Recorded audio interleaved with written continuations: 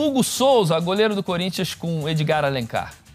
Tenho que agradecer muito ao Fabinho, muito ao presidente que me deram a oportunidade de vestir a camisa do Corinthians, que me deram a oportunidade, a oportunidade da minha vida, né? A oportunidade da minha carreira. E eu fico feliz em poder retribuir dentro de campo, porque o Corinthians é um time que me dá direito de sonhar. Me deu direito de sonhar com o título, me deu direito de sonhar com uma Copa do Brasil. Nós chegamos a uma semifinal, me deu direito de sonhar com uma Sul-Americana que nós chegamos à semifinal, me dá direito de sonhar talvez com uma seleção brasileira. E então tem que ser muito grato ao Corinthians, muito grato ao presidente, muito grato ao Fabinho, é, porque é, hoje, se hoje eu posso demonstrar meu trabalho dentro de campo, foram eles que me estenderam a mão quando eu precisei e, e eu tenho meu coração é muito grato, muito grato. Então, com certeza é aqui eu quero ficar e continuar demonstrando meu trabalho em gratidão a eles, primeiramente gratidão a Deus e, e também por estar realizando o sonho de vestir uma camisa tão gigante no, no futebol como é a do Corinthians. A última aqui, Hugo, você falou que é o seu primeiro deb, já foi com vitória aqui, teve aquele momento, você já viveu aqui vitórias, derrotas e tal, mas um poropopó ali com a torcida e tal. Num primeiro deb, é claro que foi tudo mais especial. Como é que foi você viver, que está ainda conhecendo o clube, tem também isso, como é que foi aquele momento? Cara, na verdade a sensação que eu tenho é que parece que eu estou aqui há, há, há anos já. E, e eu fico feliz por isso, né? E esse carinho que a gente tem criado com a, torcida, essa energia que a gente tem criado com a torcida, esse elo, né? Que a gente tem criado, que a gente sabe que eles são muito importantes para a gente e trazer eles para o nosso lado da melhor forma é, é, é, importante demais. E hoje a gente fez questão de fazer não só de um lado o Poropopó, vindo do outro lado também. E o Poropopó é uma comemoração, é, uma, é, uma, é um canto ali que que junta tudo, né? Junta a, a, torcida organizada, junta a social, junta o rico do pobre, junta o, o negro e o branco. Então, isso é Corinthians. E é isso que a gente tem que exaltar, é isso que a gente tem que é, é, viver, que é bom demais e que a gente conquiste mais vitórias dentro de casa para que a gente faça mais para a proposta. Tá aí, legal a declaração do Hugo com essa gratidão às pessoas que ajudaram e principalmente ao Corinthians, né, o torcedor corintiano que o abraçou mas ele também vem fazendo muito por onde dentro de campo, né? Impressionante. E o fato do Fabinho ter trabalhado com ele no Flamengo, Sim. conhecer muito dele, ele, ele comprou realmente, ele pagou para ver porque ele acreditava muito. E ele ele aceitou isso. Tem uma amizade muito grande com o Marcelo Carpes, o preparador físico, é um baita preparador físico, né? É, nossos filhos estudam no mesmo colégio aqui. E realmente ele aceitou. Alequim, Alequim? É, ele tá bom na é, escola, é, ele? Ele é bom, velho. Tem umas vagabundagens aí, mas faz parte. mas ele, ele aceitou muito essa, essa oportunidade dada. E aí ele, fazendo o que ele está, realmente com possibilidade de, de, de, seleção brasileira, por que não? Por aí, Alex, está pegando e, muito, né? É, e dá para ver pelo reconhecimento que ele tem, pela gratidão que ele tem pelo Corinthians e pelos diretores do Corinthians, nesse caso o Fabinho, como o Alex foi muito feliz, falou que de bancou a contratação dele porque conhece ele do Flamengo, né? Vê que dentro de campo ele corresponde, né? O cara, ele tá indo para campo levando isso todo jogo. A todo jogo, o Hugo ele leva isso com ele. Cara, eu cheguei aqui no momento que eu mais precisava, quem me abraçou foi o Corinthians, então eu devo isso. O Corinthians também buscava. Exatamente. E num momento difícil, onde ele, ele entendeu isso, então tá pegando muito merecido. E quem ganhou com isso foi os dois, né? Ele ganhou o Corinthians e o Corinthians ganhou com um grande goleiro. Então vamos lá, como prometido, falei que o bloco ia ser todo dele. Caio Ribeiro, bota aqui no telão. Ah, eu achei que era só Yuri, apareceu uma princesa dessa. Aí quebra eu, nós. Eu tenho que, eu tenho que entregar o, o estúdio aqui. Eu ia dar tudo para você, mas vou continuar, vou continuar. Aproveito, Yuri, e uma princesa dessa maravilha. Eu já tive a participação do filho do Alex aqui, mas já é um marmanjo e feio igual o pai. Agora parece uma princesa dessa. Caião, Conduz daí. Yuri já falou que é a fase mais Oi. importante. Oi! Como chama ela, pelo amor de Deus? Como chama? Isis, dá um, manda um beijo para todo mundo do estúdio. Fala, um beijo, turma. Ah, que coisa mais gostosa. É a Isis, a filha do Yuri. Ô, ô Caião, dá os parabéns pro nosso centroavante. Legal ele reconhecer que é a melhor fase da carreira. A gente vê pelo sorriso, a gente vê pela pela, uh, pela transparência no olhar, né? Como tá feliz e com essa princesa no colo. Fiquem à vontade, eu tenho que entregar o estúdio aqui. Você encerra o programa daí. mas con- conduz a entrevista com o nosso artilheiro. Yuri, Grande abraço. Alex, ó, quero mandar Alex, um beijo. Um beijo pra você, pro seu pai, que a gente conviveu, conheceu um grande homem, tá? Você é, é de família boa, índole boa, é por isso que o resultado ele vai sempre vir. Tô muito Valeu, feliz Alex. você, meu querido. Obrigado. Alec cara. Gol também mandando abraço. E Outro centroavante aqui, fazedor de gols. Yuri, Obrigado, Alec Gol obrigado, aqui, abraço, cara, muito, junto. muito feliz aí com o seu momento. Continue fazendo os gols aí, merecido, viu? Parabéns pelo momento. Glória a É Deus. Obrigado, cara. Obrigado. Obrigado, cara. Um abraço pra todos aí. Tamo junto. Caião, conduz daí, Gente, vou encerra, tocar daqui tá? então, agradecer o Yuri, porque ele. Combinado, Roger. Um beijo pra você, pro Alex, pro Alec Gol. O Yuri tava jantando com a família e aí, quando ele chega com a Isis, aí derrete o coração de todo mundo, né, Isis?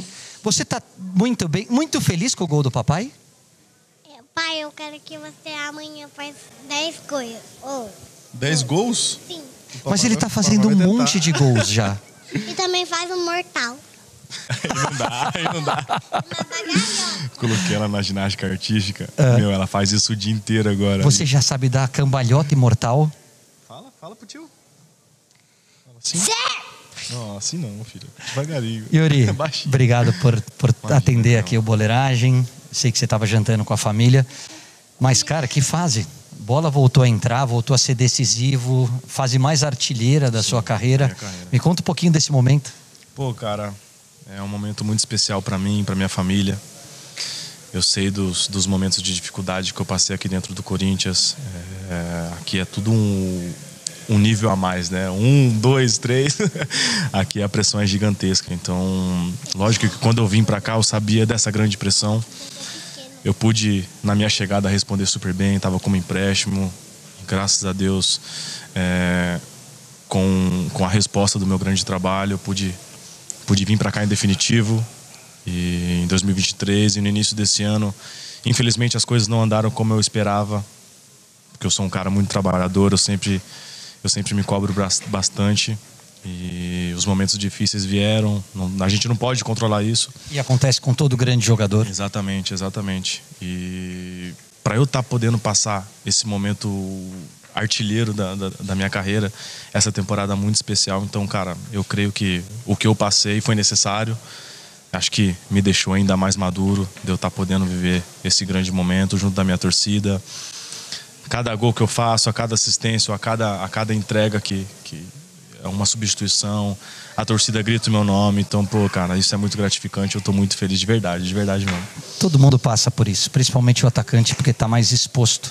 Né? A última bola, às vezes a bola não entra, você faz tudo certo, você trabalha bem durante a semana e as coisas não acontecem. Antes da gente falar dessa tua fase super artilheira, como é que você lida com as críticas? Quando as coisas não estavam saindo como você imaginava, você fica mais quieto, você acompanha, você assiste os programas, você prefere ficar mais com a tua família, mais recluso? Caião, eu prefiro evitar porque eu sei que o cara pode ter a mente mais mais dura, o cara pode ser o cara mais frio possível, mas querendo ou não, quando você vê alguma coisa, aquilo te abala. E tu pode tentar esconder, mas no seu interior aí sabe que é difícil. E eu sou um cara que pode ver, todas as vezes eu nunca respondi ninguém, sempre segurei quieto e continuei trabalhando, continuei lutando. E eu guardo muita coisa pra mim, sabe? Então, até mandar um abraço pra minha terapeuta que tem me ajudado muito, a Rosana. Tem me ajudado muito isso, é, converso, até com meu pai assim, que o cara é um sempre tá lado a lado comigo, desde a base do Santos ali, sempre me acompanhava e é um grande amigo que eu tenho. Eu tenho uma dificuldade de, de- de- não quero levar esse problema esse, esse, esse problema para ele, sabe? Então, para minha família. Então, eu busco tentar guardar, mas isso foi me sufocando, foi me sufocando. E foi um momento difícil, cara, de muita humilhação, não só para mim, mas como a minha família também. A gente vinha aqui assistir o jogo. Infelizmente, alguns torcedores enchiam o saco ali, eles não poderiam. Tivemos que mudar de camarote, tiveram muitas coisas assim negativas que querendo ou não me abalava muito nos aquecimentos, fazia um gol. Eu sei que, que isso pode ser até normal, mas todo mundo começava a gritar e tipo, para nós assim atacantes, sabe que é um pouco é, é- é chato. Foi difícil passar por esse momento, mas eu sou muito grato a meus companheiros, à minha família, da forma que eles me ajudaram a, a- a conseguir passar de cabeça erguida por cima de tudo isso. Foi foi gigantesco, cara. Foi gigantesco, aprovação gigantesca. E passou. Graças né? a Deus, Acho cara. que a fase é ótima. você está dando resposta nos jogos mais importantes, que é nesse momento de definição para fugir da zona do rebaixamento. Nas Copas, o Corinthians chegou nas duas semifinais. Sim, sim. Isso não é pouca coisa, mas muito legal você abrir assim teu coração e falar primeiro da estrutura familiar, que eu acho que é fundamental para todo atleta de alta muito, performance. muito. E que você buscou ajuda de uma terapeuta, né? Porque eu acho que o que a gente precisa evoluir muito no Brasil não é questão física, técnica ou tática, é o lado mental do jogo. Exatamente. É o quanto você se prepara para esses momentos, para bater um pênalti com essa arena lotada. E me parece que esse tipo de ajuda te facilitou a enfrentar tudo isso. Muito, muito. Acho que vocês podem ver nas últimas cobranças de pênaltis que tiveram ali, eu pego a bola, eu fico ali e fico orando, fico falando palavras positivas para para querendo ou não. o vovô, ó, ó, o, o vovô tá ali na esquerda, vai lá que ele vai te ajudar. Tá bom? Ele tá aqui na esquerda, acompanha ela ali, Ela é muito fofa, gente. Ela é uma figura. Ela é cara, muito uma fofa. figura. Ela olhou pro papai e falou assim: Papai, xixi. Ela tá aprendendo agora, sabe? Tá indo sozinha, é uma figura, cara. Desculpa o que eu tá falando, cara. Não, não estava falando exatamente de, dessa volta por cima Uhum. e quanto foi importante essa ajuda fora de campo. Exatamente. É, a família, cara. é, sempre. Eu tenho 23 anos hoje, mas eu ainda moro com meus pais. Quando eu fui pro Zenit, eu também levei meus pais. Eu sei o quanto, o quanto essa companhia ajuda muito. E eu sei que na convivência que eu tive, no- na base, sempre tiveram grandes jogadores que não tinham essa base. Já é difícil para nós que temos. Agora imagina para quem não tem nenhuma base familiar. Então, eu não largo mão, não largo mão. A minha família sempre tá junto comigo, todos os jogos aí. Eu até peço desculpa, pessoal, porque cada jogo eu compro uns 30, 40 ingressos e contando os 12 do meu camarote ainda. Mas eu gosto, cara, eu gosto muito. Minha família toda é corintiana, então essa energia positiva que eles mandam para mim dentro de campo é muito importante. A minha terapeuta me ajudou muito também. É, Quando eu comecei essa conversa com meu pai, meu pai tocou nesse assunto e querendo ou não para nós jogadores assim, quando fala tipo um terapeuta ou uma psicóloga, tipo, pô, não sou louco, não preciso disso. Mas cara, é importante, cara. É muito bom, é muito bom. Fisicamente eu tava muito bem, tecnicamente nem tanto nos momentos ruins que eu tava. Falhava algumas algumas vezes. E mentalmente eu tava tava ferrado, cara. Tava ferrado e ela me ajudou muito, tem me ajudado bastante. Creio que eu ainda vou vou aumentar ainda mais esses números nessa temporada e ajudar ainda mais o meu time, que é o Corinthians. Mas o torcedor corintiano tá feliz da vida com você. Tá feliz da vida com uma vitória no clássico. Não é só se afastar da zona do rebaixamento, é travar o título do Palmeiras nessa perseguição ao líder Botafogo. Me fala um pouquinho do que vocês encontraram dessa atmosfera e o tamanho dessa vitória para essa continuidade de Brasileirão. Cara, a gente sabia que a gente não podia dar essa brecha, né? É, A gente sabia que eles vinham pra cá num clima de festa, que com uma possível vitória deles, eles poderiam estar brigando ainda, ainda mais próximo do título. Então, fechamos entre nós, a atitude foi muito diferente.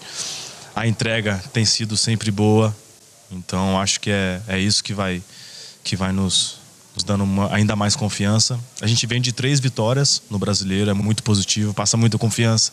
Mas após vencer um clássico, a, a confiança é ainda maior. Você sabe, você já viveu isso também. E a gente tem mais seis jogos aí, cara, que a gente tem que continuar pontuando. Esses três pontos hoje aqui dentro de casa foi muito importante. E é continuar, é continuar nesse, nesse, nessa pegada, nessa intensidade, nesse nível de competitividade altíssimo que a gente tem aumentado bastante. E eu acho que é isso que nos deixa ainda mais próximo das vitórias. Como é virar a chave de uma eliminação da Sul-Americana na quinta-feira para o Racing e fazer um jogo do tamanho que vocês fizeram hoje para o Palmeiras? Cara, essa foi uma das, uma das conversas que eu tive com a minha terapeuta ontem. Eu falei Olha quem voltou. Voltou? Conseguiu? Essa foi uma das grandes conversas que eu tive ontem. Falei, pô, eu tô sentindo, tô, tô chateado ainda. Acho que até na entrevista pós-jogo ali eu falei, pô, é, mas amanhã a gente tem que virar a chave. Mas a gente sabe o quanto é difícil. Eu queria muito, eu sonhava muito em, em- em poder estar na final e conquistar esse título. Graças a Deus consegui é, é, atingir um objetivo pessoal, que é me tornar um artilheiro da liga ainda. Eu sei que eles ainda têm um ele, eles ainda ele, ele ainda tem um grande jogo, né? O Martins é um grande atacante também. Incomodou o jogo inteiro, muito chato, mas eu acho que a gente tá- tava na nossa mão, né, cara? Tava na nossa mão e por alguns descuidos a gente a gente acabou deixando escapar, mas o ano ainda não acabou. A gente sabe que o brasileiro é muito importante para nós, a gente tem ainda muita chance de, de classificar por uma Sul-Americana e devagarinho já pensar numa Libertadores também. A gente ainda tem seis jogos e eu creio que se a gente concentrar, descansar, focar ao máximo nesses últimos jogos, a gente vai poder atingir esses feitos. É, a gente fala que o futebol, é claro que a performance individual é fundamental, mas é um jogo coletivo. Sim. E o Corinthians melhorou muito depois das contratações do meio do ano. E eu não vou entrar no mérito da questão do, de quanto pagou, de quanto cada um está recebendo. Eu não levo isso em consideração. Mas o seu entorno facilita muito e potencializa muitas oportunidades de gol para você. Queria que você falasse especificamente do Garro, que eu acho que é um jogador muito diferente. Se apresenta o tempo todo, cria muito, muita oportunidade para os atacantes. E dessa dobradinha com o Depay. Porque vocês estão começando a se entrosar, se entender dentro de Sim. campo. É um procurando o outro, dando gol para o outro. Me parece que você encontrou o companheiro de ataque ideal. Pô, cara, ele tem nos ajudado bastante. É um jogador com uma experiência absurda, um talento absurdo também. E graças a Deus ele, ele, ele entendeu isso muito rápido e conseguiu atingir a, a, a- melhor. Uma das, ele, ele ainda, eu creio que ele ainda vai melhorar bastante, mas a melhor fase física dele, ele é um cara que é muito forte, cara. É muito forte, absurdo.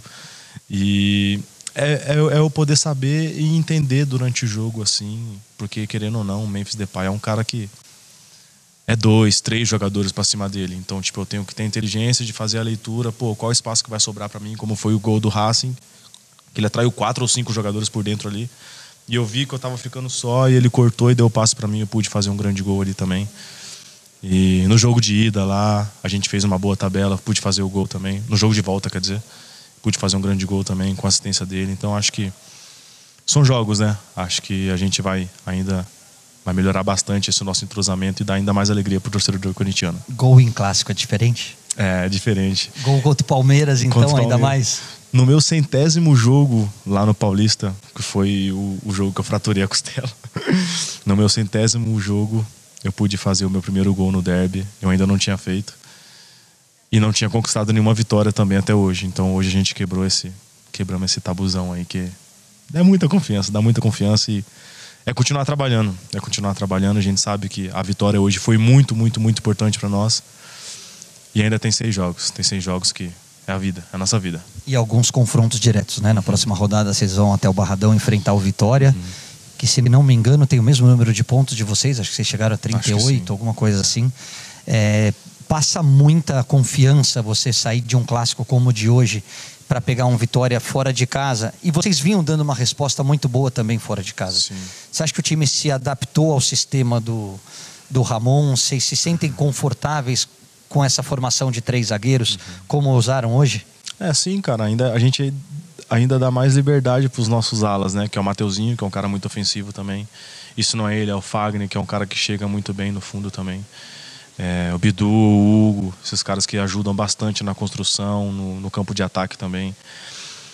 E é bom para nós, eu, Garro e Memphis, a gente meio que fica trocando a posição assim, mas eu tento sempre manter a, a, a, a profundidade porque eles são dois jogadores que gostam muito de jogar apoiado. Já não é tão a minha característica, então tem dado bom, tem dado bom e creio que a gente vai trazer muita alegria. É, essa vitória nos passou muita confiança para esse jogo fora de casa. A gente, nós ganhamos, acho que nesses últimos três jogos foram um em casa, foram um fora de, foi um fora de casa, não lembro. É, eu lembro muito das Copas, né? O jogo contra o Fortaleza. É, verdade, aquele jogo me chamou muito a atenção.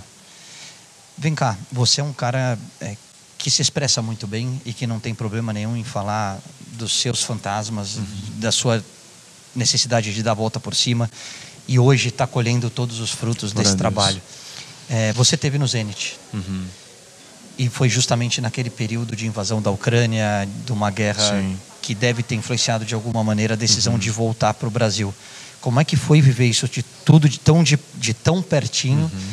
e isso foi preponderante para você voltar para casa? Então, Caião, antes de chegar a proposta, a gente já tinha pensado, chegaram muitas propostas boas, mas eu queria um clube que eu teria minutagem, que eu ia jogar. E lá eles também estavam na. Eles tinham recém caído da, da Champions League e estavam na Europa League, que, querendo ou não, é uma grande competição também.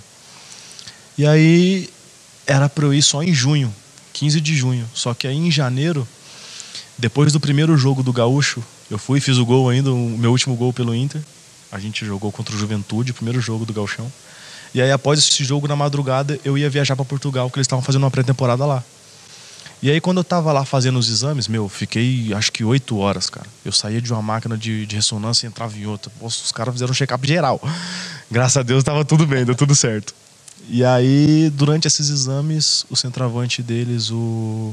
Esqueci. Número 7. Que hoje, não lembro. Acho que ele tá no Milan. E aí vazou uma foto dele. Ele tava em pré-contrato já, só que aí vazou uma foto dele com a camisa do Leverkusen.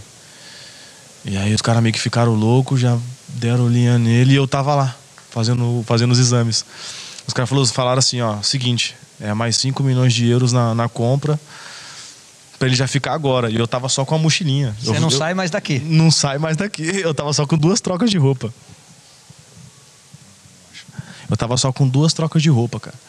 E aí pediram para eu ficar, a gente sentou, os dirigentes, o pessoal do, do, do, Inter que viajou comigo lá também achou que seria positivo. E aí eu acabei ficando, fizemos uma semana de pré-temporada ali na, em Algarve, eu acho. E aí de Algarve a gente viajou para a Rússia. E aí eu fiz acho que quatro ou três treinos antes do jogo contra o Betis na Europa League. Aí a gente foi, fez o primeiro jogo, a gente perdeu de 2 a 1 um. Acho que foi 2 a 1 um o jogo, é. Eu entrei no finalzinho, fiz minha estreia. E aí no jogo seguinte era lá em Sevilha. Aí após esse jogo em casa, lá, no, lá na Gazprom, a gente já viajou para Espanha. E aí tava surgindo os rumores tal, de acontecer tal coisa. Aí meu pai falou assim pro meu empresário, não, não é possível. Aí, não, não, fica tranquilo, vai acontecer nada não. Aí na madrugada da concentração, é, tipo, o jogo era numa, um exemplo, o jogo era numa quinta e na quarta-feira, assim, na madrugada, começou. E aí e aí no jogo, assim, a gente já, já via que a intenção dos caras era de, tipo, não ter chance da gente classificar, sabe? E foi, foi difícil, foi difícil. A gente tava sonhando muito também em conseguir passar. Não tava sendo um jogo difícil, mas muitas coisas pesaram para que a gente não passasse, então... E aí, quando acabou o jogo, no dia seguinte a gente foi para o aeroporto. Ninguém queria vender gasolina pro avião da Rússia. E o avião, tipo, é adesivo do Zenit, várias coisas. E ninguém queria vender gasolina. E aí nós ficamos a tarde inteira lá até que conseguiram, tipo, pagar o, o dobro ou o triplo para conseguir a gasolina pra gente pelo menos voltar. Pra poder voltar para casa. Poder voltar pra Rússia. E aí quando a gente chega lá, tranca a conta, tranca tudo, eu falei, meu Deus do céu. Eu não tinha recebido um centavo ainda E dos não precisava passar por isso, né? Cara, e foi, foi, foi difícil. E eu tinha amigos que é o Maicon, o pessoal do. do, do... Onde o Maicon jogava mesmo? Esqueci, deu um branco agora. Do... Na Ucrânia. Pe Maicon, Pedrinho. Ah, no Shakhtar? No Shakhtar, isso, Shakhtar. E eles estavam lá no Shakhtar, e aí. E aí, querendo ou não, tipo, um voo de uma viagem que era de uma hora, tipo São Paulo-Rio, durava quatro, porque tinha que fazer um desvio muito grande, porque se passasse o avião lá e não tivesse autorização, bum, bomba. Imagina como é que eu ficava. E como é que eu Nossa. levava minha filha lá para me visitar, minha família. Não dava, não dava. E aí quando chegou no fim da temporada, assim. é, E aí, fora de, de todas as competições europeias na, no, no ano seguinte. Que era o meu, meu sonho, né? E aí. Quando eu voltei de férias, eu, meu pai meu empresário, a gente sentou, conversou, falei, pô, pai, a gente foi com o intuito de poder jogar essas ligas e tal, o clube em si, top, tudo de bom. O pessoal da Gazprom também nunca deixou faltar nada ali. Foram um dos únicos clubes assim que não quebrou durante essa durante essa, essa cortada que teve geral lá em todos os clubes. Tinha estrangeiro, o clube liberava porque não tinha condição de pagar. E o Zenit nunca, cara. O Zenit é, é muito forte nisso. Eles são muito fortes. E eles tinham informações positivas também, mas querendo ou não, ficava com muito medo. E aí surgia um, um papo assim com, com o Medvedev, ele falava, não, se acontecer alguma coisa, a gente pega um trem até a Finlândia e da Finlândia a gente vai. Imagina o desespero de, de- da correria. É que pra eles pode ser Pode até ser mais até no- normal. é. Pra gente é uma realidade completamente não, pra diferente. Mim, eu tava com o olho desse tamanho, eu tava em choque. E aí, querendo ou não, acabou. Eu tive jogos positivos, foram 12 jogos, 6 gols, não sei quantas, não sei quantas, acho que 4 ou, ou 3 assistências, jogando de ponta. Aberto. Tava jogando de ponta porque tinha o Dzuba, o centroavante russo lá. Bom jogador também, um fenômeno. Finalizando é piada. E aí, quando eu cheguei aqui, eu falei, pai, é, não quero voltar. E aí foram, foram batendo os dias tal. E eu tinha uma premiação para receber, que a gente foi campeão da liga. E aí eu atrasei acho que um ou dois dias para tipo acertar essa, esse empréstimo com o Corinthians. Aí eles foram, me multaram 150 mil euros. Eu falei, meu Deus do céu, que isso, cara? que isso. E aí o pessoal voltou, o Wendel, o Claudinho, todo mundo voltou e eu fiquei. Acho que tava nos planos, cara. É, tinha que ser, tinha que É ser, isso. sabe, Caio? Eu E creio tá nos planos feliz? de Deus. Tô muito feliz, cara. Tô muito feliz. Acho que. É... Lógico que eu, que, eu, que eu quero muito conseguir um título aqui. Chegamos perto. Em 2022, quando eu cheguei, a gente chegou na final da Copa do Brasil. Infelizmente, perdemos nas penalidades ali. E a gente teve uma grande chance agora na Sul-Americana. Na Copa do Brasil também, a gente chegou na semi também. E eu creio, cara, eu creio que eu vou. Eu, não só eu, né? Meus companheiros também, por tudo que a gente passou esse ano, o ano, o ano de 2025, a gente, a gente vai fazer que seja diferente. Yuri, quero te agradecer demais pela disponibilidade, Que pelo isso, obrigado tempo. pela oportunidade, Caio. Te dar os parabéns é, por essa fase artilheira, você está fazendo a diferença e acho que o torcedor corintiano está muito feliz com esse teu momento. Para a gente encerrar o programa, agora não cai mais, né? Amém, que assim seja. Parabéns por essa isso. filha linda, viu? Obrigado? Caio. E que você continue junto. brilhando. Obrigado pelo carinho, É, faz parte da nossa profissão, é, tá sempre analisando. Eu sempre procuro fazer com muito profissionalismo, porque eu já tive do outro lado. Sim. Eu sei que às vezes as coisas não dão certo e, e a gente vai criando uma casca, Uhum. né? A gente sabe lidar com as críticas. O problema é quando essas críticas atingem a nossa família. Exatamente. Aí a gente sofre um pouquinho mais. Mas a maneira como você lida com ela, eu acho que é um exemplo para todo jogador. Você não é um cara de, de dar resposta na, na imprensa, não é um cara de fazer bico. Quando as coisas estão difíceis, você não se omite do jogo. Errando ou não, você está sempre lá dando a cara a tapa, assumindo responsabilidade. Talvez justamente por conta desse comportamento você esteja vivendo essa fase tão especial. Parabéns, obrigado, meu amigo. Obrigado, Caião. Tamo junto. obrigado, foi um prazer, Gente, cara. boleiragem está chegando ao final. Agradecer a toda a assessoria do Corinthians que trouxe o Yuri, trouxe o André, que tiraram um tempinho. Ah, o André veio também? O André veio Ah, também. veio. Você quer contar algum podre dele? Não, não, não, não. Semana que vem a gente está de volta com mais um grande convidado. Hoje, para vocês, Yuri Alberto, um dos artilheiros do clássico. Um abraço, tamo junto. Valeu, galera.